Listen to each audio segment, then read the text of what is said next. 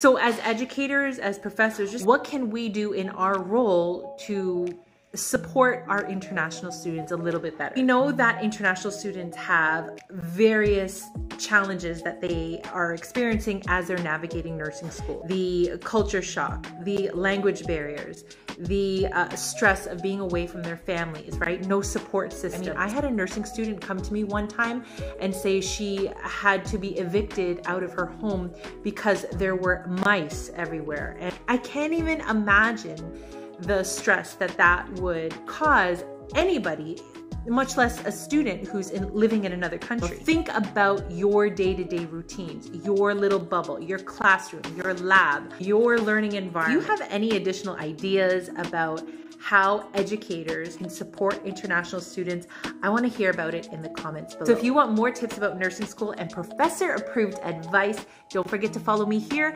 and go check out my YouTube channel at Jus Like That. I've got more information there for you. See you there.